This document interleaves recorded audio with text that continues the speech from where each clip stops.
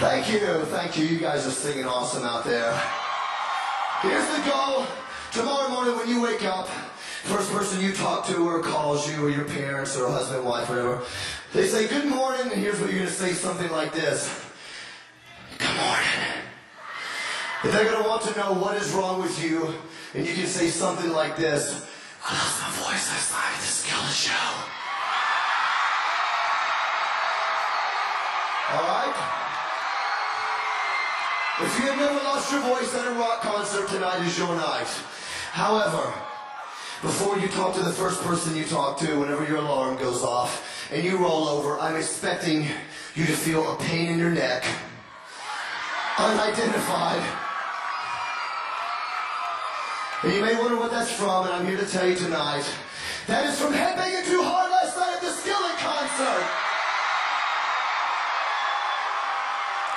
So if you have never lost your voice or hurt your neck at a rock show, tonight is your night to get your money's worth.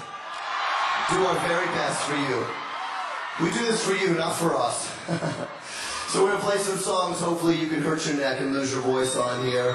Uh, I'm gonna explain the song because a lot of people want to know what it's talking about. Uh, I wrote this song about a girl who hates her life um, because she has been told she was a loser since she was a kid, never going to amount to anything.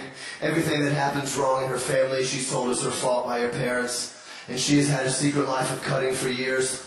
And uh, she finally decides that she wants to kill herself. Not a single reason left to live. And she comes to me, says, I just want to say goodbye. My life stinks. No purpose in me living anymore.